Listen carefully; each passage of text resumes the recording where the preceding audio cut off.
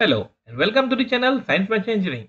Today we are going to solve the APSC Assam Electricity Grid Corporation Limited that is AEGCL 2023 Mechanical Engineering paper for Assistant Engineer Part 1.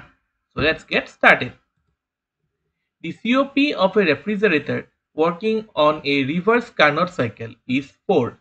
The ratio of the highest absolute temperature to the lowest absolute temperature is so the answer is so it is 1.25. So let us see how we get it.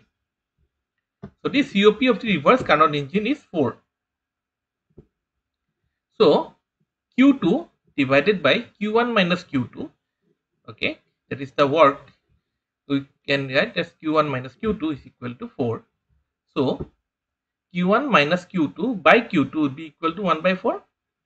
So from here we get Q1 by Q2 minus 1 is equal to 1 by 4 or q1 by q2 is equal to 5 by 4 which is 1.125 now since it is working on the picture of Carnot cycle so q1 by q2 is equal to t1 by t2 so we get t1 by t2 is equal to 1.25 so highest absolute uh, temperature divided by the lowest absolute temperature that is the temperature of source divided by temperature sink is equal to 1.25 so we'll go to the next question the subcooling is a process of cooling the refrigerant in vapor compression refrigeration system. So when do we cool the refrigerant? The answer is see, this is a vapor compression refrigeration. So it is cool after condensation or that is before throttling.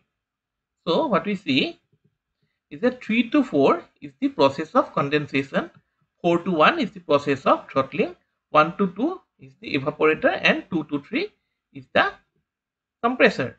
Now, since this temperature we can use externally or we can cool it through this uh, refrigerant also okay so what we do this refrigerant 2 here you see it is at a lower temperature than this uh, refrigerant uh, that is after the uh, condenser so what we do we throw a heat exchanger we exchange the heat. So this 2 it comes to 2 dash. So the temperature increases and from here 4 to 4 dash it goes. So it is subcooled.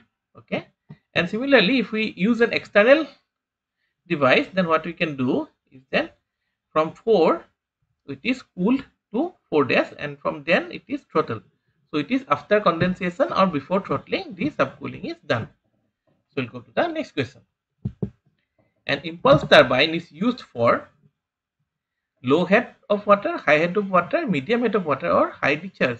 So an impulse turbine is used for high head of water. So we'll go to the next question. A turbine develops 5000 kilowatt when running at 80 rpm. The head of the turbine is 10 meter. If the head of the turbine is increased to 40 meter, the speed will become so this is a problem of turbine. The answer is, you see, we know unit speed is equal to n1 by root over h1 is equal to n2 by root over h2. Now, n1, n1 is given, h1 is given, h2 is given. So, n2 would be equal to n1 into root over h2 by h1. So, it is 80 into root over 40 by 10. So, it is 160 rpm. Okay. So, we'll go to the next question an engine an oil engine working on a dual combustion cycle has a compression ratio 13 if the cutoff cut cutoff occurs at 5% of the stroke the cutoff ratio will be so the answer is see this is the diagram for a dual cycle. Now 1 to 2 is the stroke length which means that is p1 minus p2 is the stroke volume. Now we say and this is the V3 minus V2 that is where so this is where cutoff occurs okay V3 so V3 minus V2 is equal to how much? 5% of V1 minus V2 now from here if we divide V3 by V2 minus 1 is equal to 5 by 100 into V1 by V2 minus 1 so we divide both sides by V2 now V1 by V2 is what? Compression ratio. So we know that is R that is 13 and then V3 by v, V2 it is the cutoff ratio. So RC minus 1 would be equal to then 0.05 into R minus 1. So from here we get RC is equal to 1.6. Okay. So we'll go to the next question. For flow over a flat plate, the critical Reynolds number at which the transition from laminar to turbulent flow takes place is, the answer is it takes place at 5 into 10 to the power 5 Reynolds number. Okay. So we'll go to the next question. The example of spring control governor is, so which is a spring control governor here? So the answer is Hartung governor. Okay. And along with, with Hartnell governor, Wilson Hartnell governor, Pickering governor, these are all spring control governors. Also uh, Pickering governor uses three leaf spring. A similar question was also asked in the APSC irrigation 2021 mechanical engineering paper. Okay, so we'll go to the next question. When two links have surface contact while in motion, the pair is pair so formed is known as. So the answer is so it is known as a lower pair. So none of these choices is the correct answer. So if we have surface contact, it is known as a lower pair. If we have a point or line contact, it is known as a higher pair. Now lower pair examples are piston and cylinder, a shaft rotating in a bearing or a nut turning on a screw. Now maybe this answer A, it is a printing mistake. It should have been a lower pair. Okay. However, we are taking the official paper from AEGCL. So we, we are keeping that options as it is. So then in that case, none of the options is correct. Otherwise, it is a lower pair. Okay. So we'll go to the next question. For isochronous governor, the controlling force curve is a so if it is isochronous governor, the controlling force is a straight line passing through the origin. So we'll go to the next question. A horizontal cross compound steam engine develops 400 horsepower at 90 rpm. If the speed is to be kept with 0.5% of the mean speed, the coefficient of fluctuation of speed will be okay.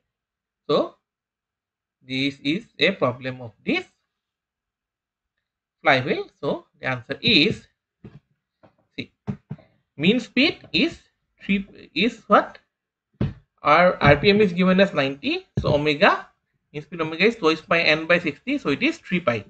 Now maximum speed would be 3 pi plus 1 plus that is 5% and more. So it is 3.015 pi and minimum speed would be 2.985 pi. Now maximum fluctuation of energy that is small e would be equal to half of i into omega 1 square minus omega 2 square. So that is equal to 0.09 i into pi square. Now kinetic energy of the flywheel at mean speed is how much? Capital E would be equal to half of i omega square. So that is 9 by 2 i pi square. Now coefficient of fluctuation of speed that is k is equal to e by 2e. Small e by 2 capital E. So it would be equal to 0 0.01. So we'll go to the next question. The coupling used to join two shafts which have lateral misalignment is called, so it is called Oldham coupling. Okay.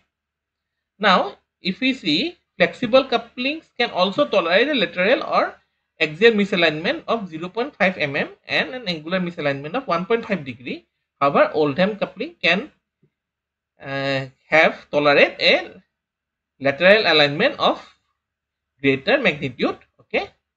So, Oldham coupling is the correct answer. So, we'll go to the next question. The atomic packing factor for a body centered cubic structure is, so the answer is 0.68.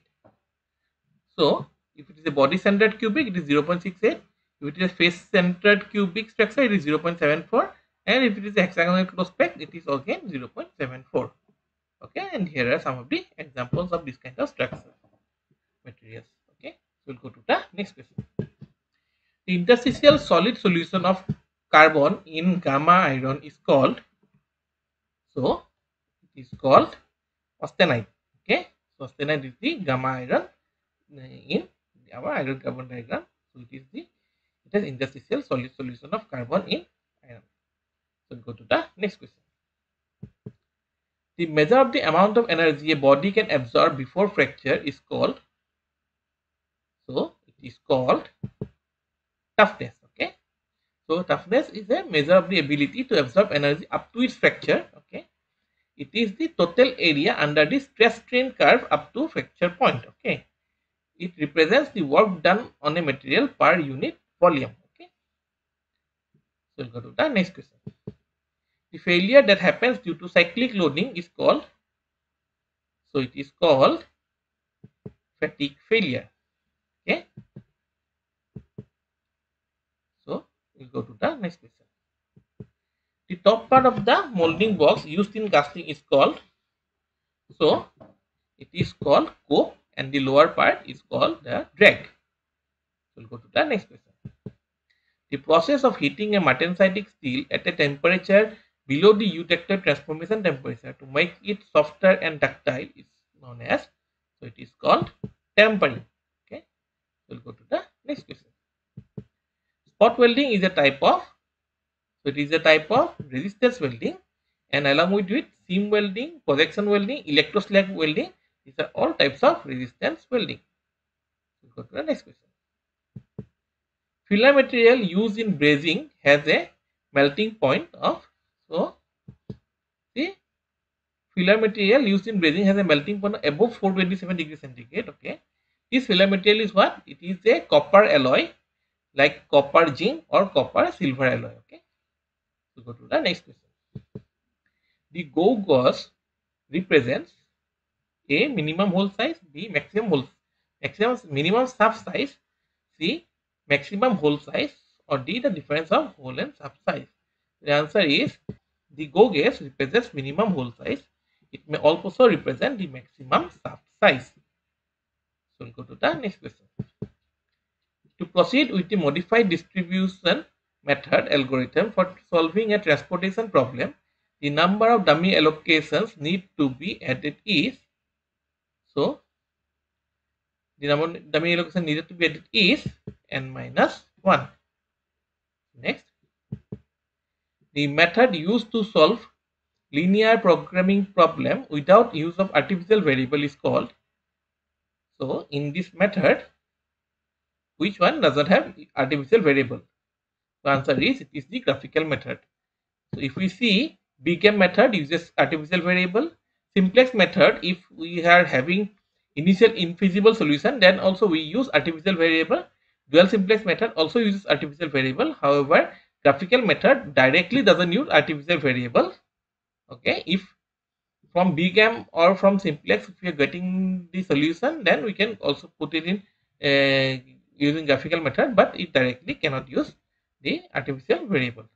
Go to the next break even analysis chart is drawn between so it is drawn between the volume of production or sales in the x-axis and the income or the revenue from in the y-axis option b is the correct answer so go to the next question the progressive plastic deformation at constant load over a long period of time is known as, so it is known as creep. Okay. And this stress may be less than the ultimate tensile stress and this phenomenon is observed at elevated temperatures. Okay. Suppose you have a rod, you are putting some load on it, but you have it is at a high temperature, then creep may develop. So we'll go to the next question.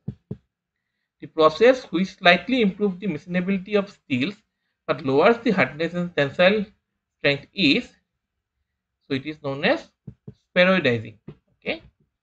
So it is a special type of tempering where the specimen is reheated just below the lower critical temperature and by this process the carbide in the steel is transformed into a globular form okay and this makes the steel relatively soft machinable and suitable for subsequent hardening treatment. Okay.